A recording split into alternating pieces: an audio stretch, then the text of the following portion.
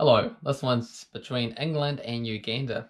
England are the hosts for this tournament and have played in every single World Cup and finished between second and fourth place. Second in 1975 in a round robin format. Otherwise, for the most part, have been fighting with Jamaica for the third place spot. Most recently in 2015, did just that, defeated them in group stage and a loss to New Zealand in the semi-finals saw them play Jamaica again and this time they managed to win by more than 20 goals. The most recent Commonwealth Games saw them turn around their fortunes with topping Group B, defeating New Zealand in the process, and a one point semi final win against Jamaica saw them even make the finals and they even beat it, Australia by one point as well as they claimed their first major trophy for the team. Now they are merging force in the game even more so than their third place, fourth place of the past there and uh, second favourites for this tournament at $2.88. Uganda make their third appearance to this World Cup.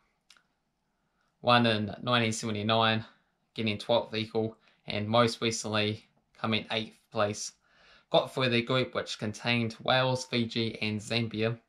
Failed in main qualification round which saw them fight for 5th to 8th place matches.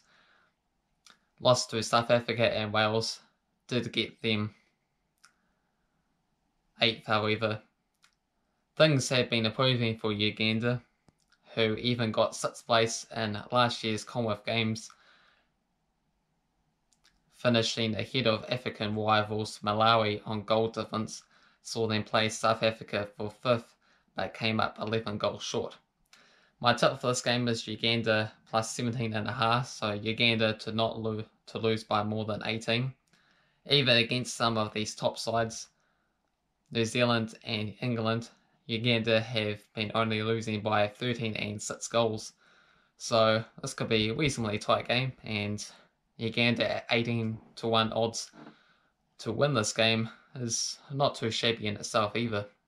So I'm going for a 65 to 52 win, but I am going for England to win this game.